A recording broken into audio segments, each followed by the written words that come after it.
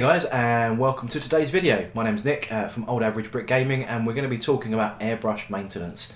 Now airbrushing has become a massive thing in the Games Workshop hobby and in hobbies in general uh, with miniature gaming over the last what four or five years, maybe a bit longer than that.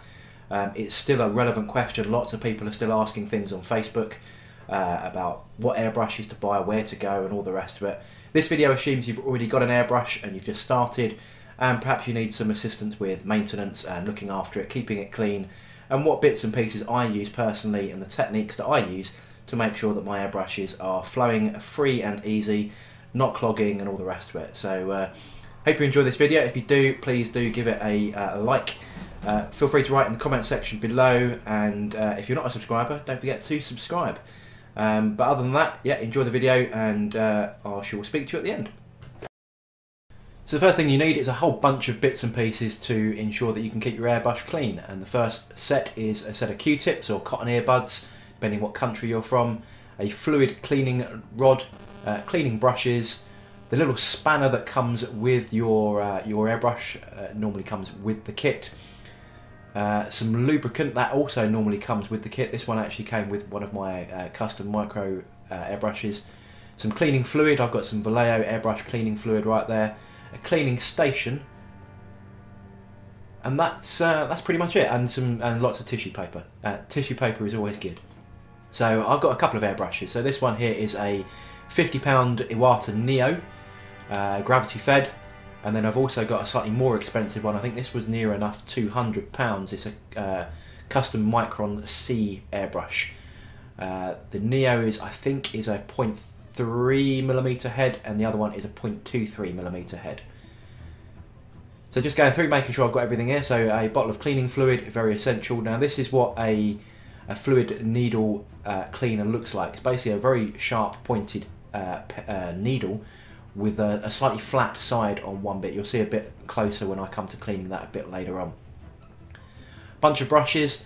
Um, these components so far, I mean that that fluid uh, rod is about three or four pounds. The brushes are about four or five pounds, uh, and then you know you can raid your uh, bathroom cupboard for the Q-tips. Um, but yeah, other than that, you know it's not a big expense, but a lot of people do forget that you do need to consider these expenses when you're buying an airbrush.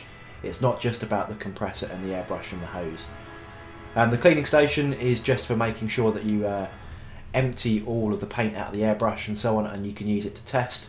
Um, especially if you haven't got a sink nearby it's always good to have uh, have that kicking around. We don't really need that in this particular video. So what I'm going to be doing is focusing on the Neo airbrush. And this is quite a common uh, airbrush in the industry. A lot of people are using this and the first thing you've got to do is just fully strip it down. So making sure that I know where all the parts are I've got some uh, white uh, kitchen roll in front of me here, just stripping it out. So taking the back section off, uh, the needle retainer, the needle comes out, and then the uh, the spring retainer that comes out the back of the airbrush.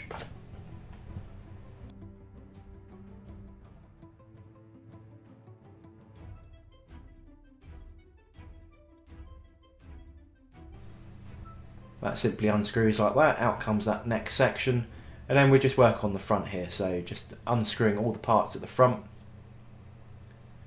And this is really the, the business end of the airbrush, obviously. This is where all the air and paint mix.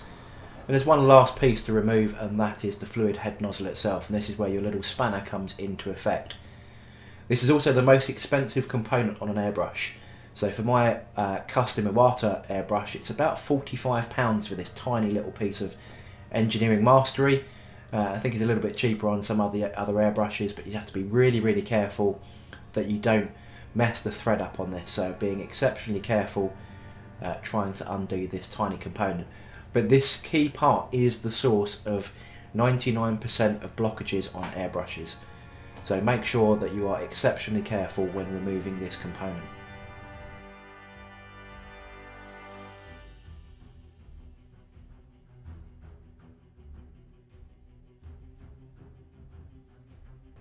You can see how small it is. Do not lose it. Um, it will ruin your airbrush without it. It does not function without that, that component. You can see I've got a little bit of paint and all the rest of it around the um, gravity cup there. Not overly fussed about the outside. I do clean it from time to time, but it doesn't obviously impact anything else. It's just aesthetics. And the first thing we need to do is take our brushes and our cleaning fluid. There's a whole bunch of different sizes on here. Uh, pretty much I only use two of these because they're the ones that fit this particular size of airbrush. So the smallest one here fits perfectly down the down the muzzle of the of the airbrush really. So just ramming that down there and that really clears out all the gunk and that's where the paint and the air actually mix. So give it a good uh, good rodding and that will uh, produce a whole bunch of gunk that typically comes out of an airbrush, especially if you've just been on a long airbrushing session. This airbrush is relatively clean, um, but you'll see here as I wipe those uh, those brushes on that bit of tissue paper that there is some residue still in there, even after I've cleaned it um, intermediately before.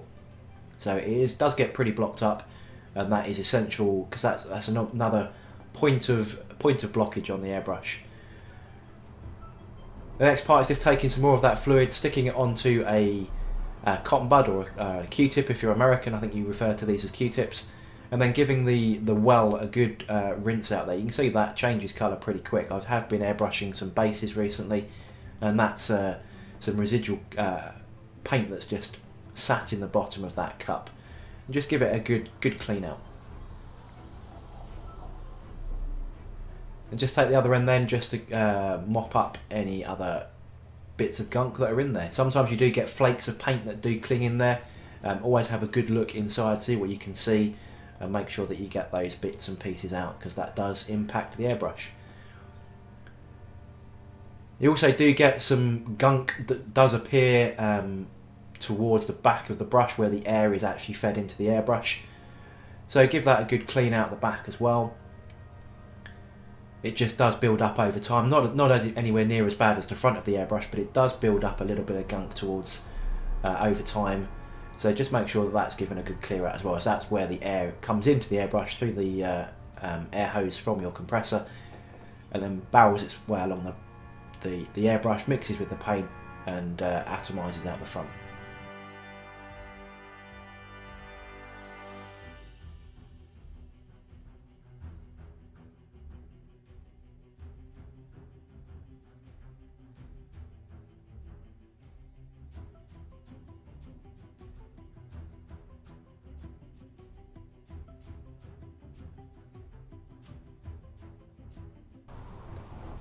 Taking a Q, another Q-tip again, another. I keep calling them Q-tips. I'm getting very Americanized here, just to give the um, that rear assembly a good clean as well.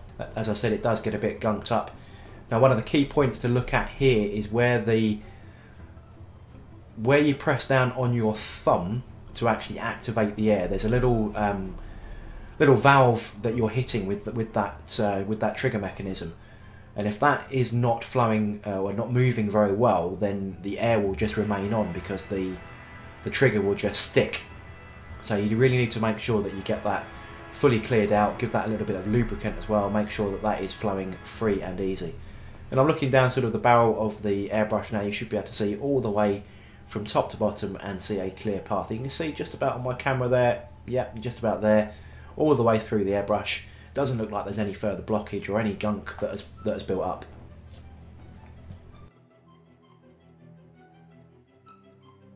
Next bit, you want to make sure that the needle itself is nice and clear, so I put a little bit of the cleaning fluid onto a bit of tissue and then just give that a wipe from the back end of the needle towards the tip. Needles do bend. Um, no matter how careful you are, you will often find that the end of the needle will, will bend and it only needs to be a fraction and that does impact the airflow and the, the way that the atomizing paint hits the model. So you'll always find that when you're cleaning it that way, if it does snag or catch on the tissue paper, you'll feel it really easily and you'll know it's time potentially for a new needle. All the other components then just given a general clean, make sure they're all okay. Um, that particular piece I had cleaned recently, so that was looking fine. Um, and then you're sort of looking at the head matching components now. So just making sure that this particular part is just given a nice little clean. Um, and this is where the needle does traverse through that front hole of that. So you want to make sure there's no gunk and nothing built up in there that uh, doesn't need to be there. They're giving the thread a good clean. You know, you can see it does. It's not a huge amount of gunk in there, but you know, it's one of these things that it will build up over time. So you need to make sure that you give it a nice little clean from time to time.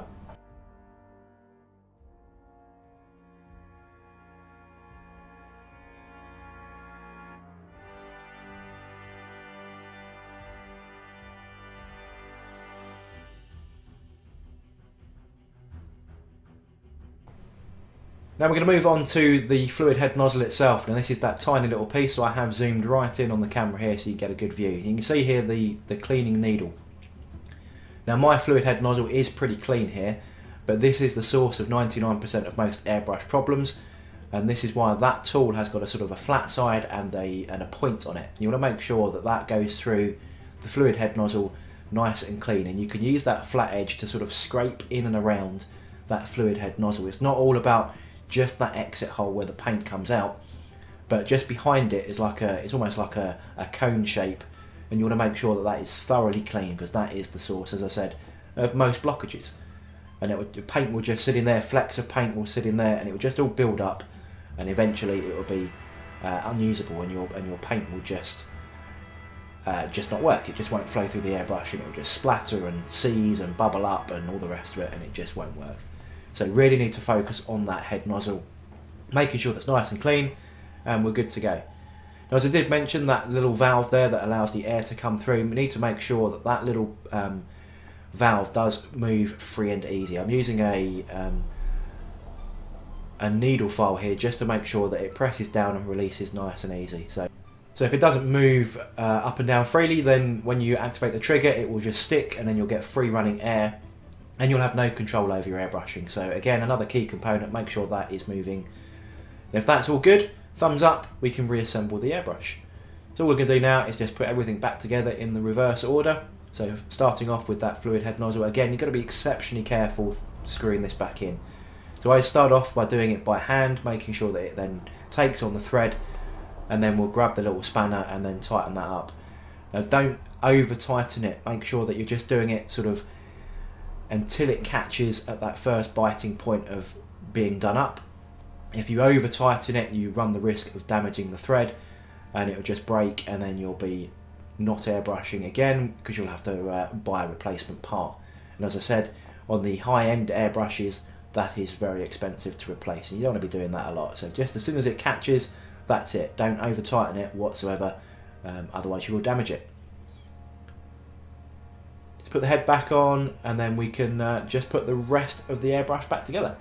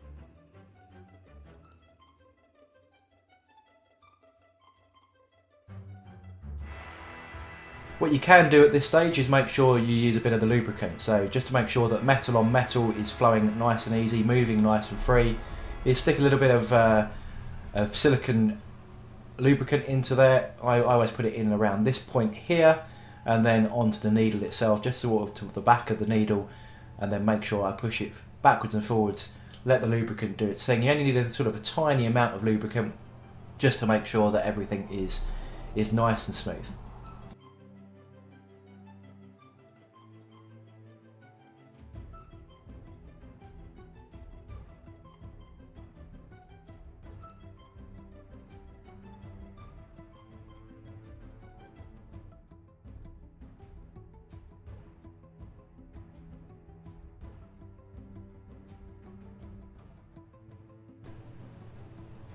Last bit's going to back together then, and once you're uh, fully assembled, all you need to do is reconnect it to your air hose and make sure that you can push some water through it. I always make sure that water flows free and easy through the airbrush.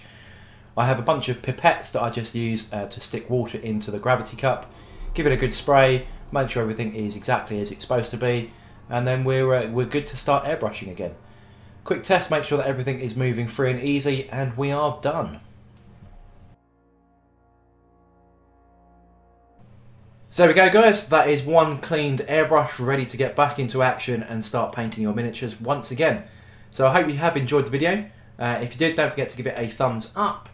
Uh, like, comment if you've got any other input that you'd like to add to that video. In case I've missed anything, I don't think I have. I have been airbrushing for around about a decade now, so fairly experienced, and that is that is good enough to keep me going. There are a couple of other components that you might want to consider when cleaning your airbrush. If you leave it for some time uh, between airbrushing, you may want to invest in a sonic cleaner, a sonic bath.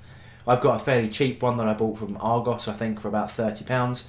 And all that does is, is agitate the paint that's really ground onto airbrush. Um, I got mine, yeah, as I said, from from Argos, but there's plenty all over Amazon. Uh, they they are fairly cheap if you want a cheap one, but you can spend a lot of money on it. I don't think it's overly necessary. And as a bonus, if you are a happily married man and your wife has a nice uh, wedding ring or a nice engagement ring. It also doubles up as a good jewellery cleaner, so uh, you can always score some brownie points for giving the wife's jewellery a nice little clean uh, with that as well. So uh, you could put it on your household expenses. I'm sure I'm sure the wife would appreciate it. Um, but yeah, hope you enjoyed the video, and I shall catch you on the next one.